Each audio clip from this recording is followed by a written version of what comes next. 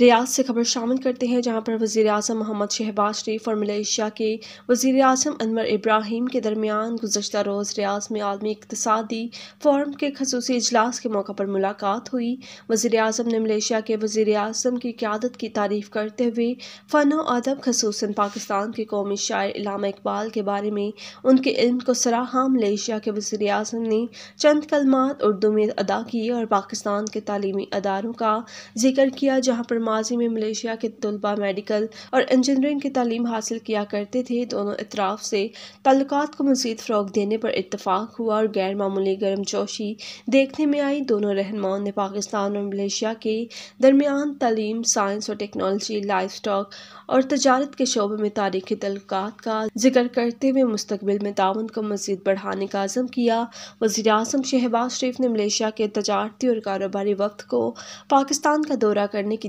دعوت دی تاکہ دونوں ممالک کے درمیان تجارت اور سرمایہ کاری کے تعلقات کو بڑھانے پر بات چیت کی جا سکے۔ دونوں رہنماؤں نے مشترکہ وزارتی کمیشن کا اگلا اجلاس جلد اسلام آباد میں منعقد کرنے پر بھی اتفاق کیا۔